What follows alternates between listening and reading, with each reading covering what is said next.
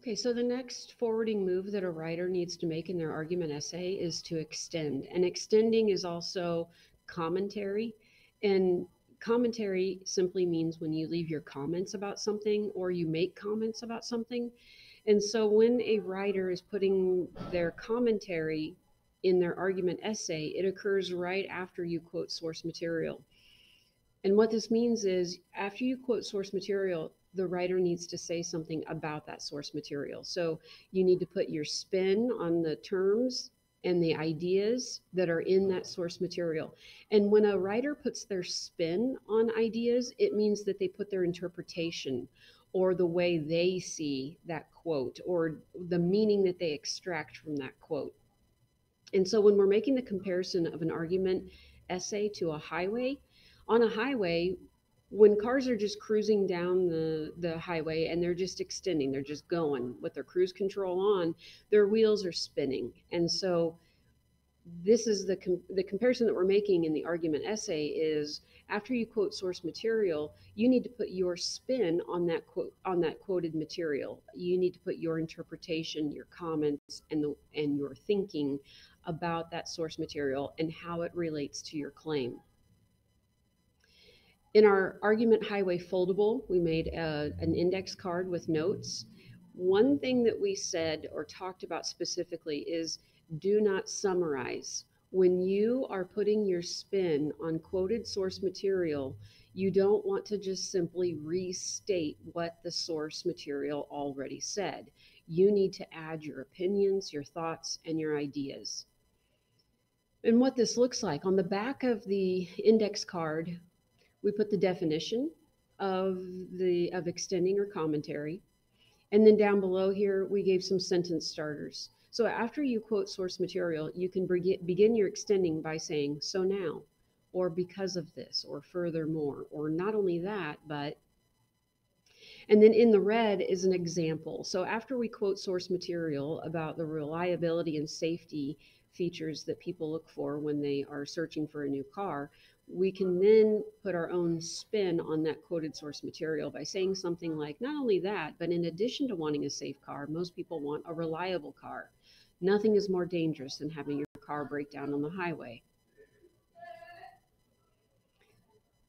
So take a minute and just think about and review what extending looks like in your argument essay and some of the sentence starters that signal to the reader that you are putting your own spin on the quoted source material.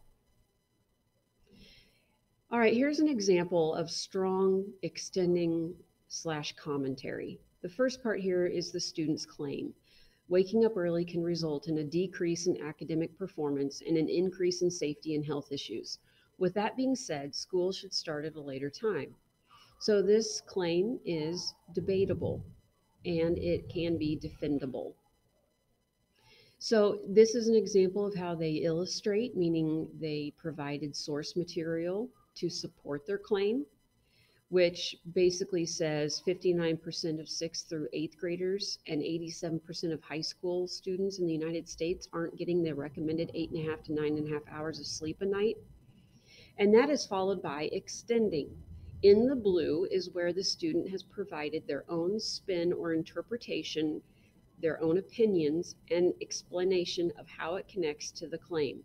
So they say, in other words, the National Sleep Foundation is saying that students are not getting enough sleep.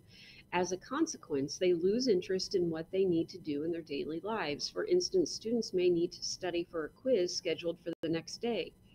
Instead of studying, they might just take a nap and end up fa- failing the quiz.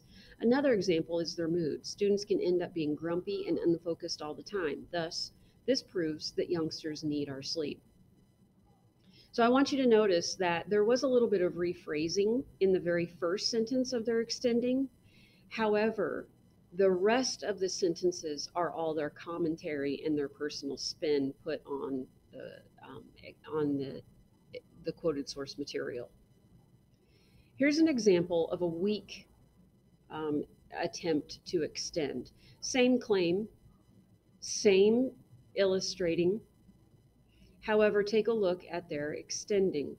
It says this shows that more than half of the United States students aren't getting enough sleep.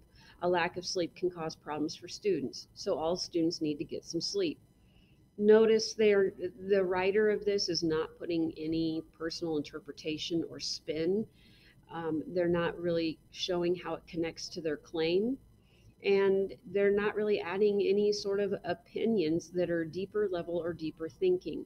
It's basically just a summary statement that's rephrasing what the text already said.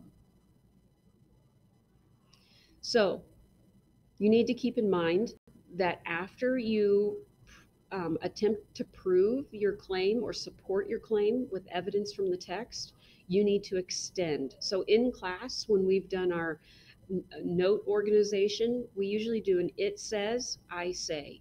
So under the it says, we write down what the text says. Under the I say, we write down our thoughts, our interpretations, and our opinions of what the text says. Because everybody's going to have uh, a different interpretation or different opinions or different connections about quoted source material. So you need to explain thoroughly what your interpretation of that material is and how it connects to your claim.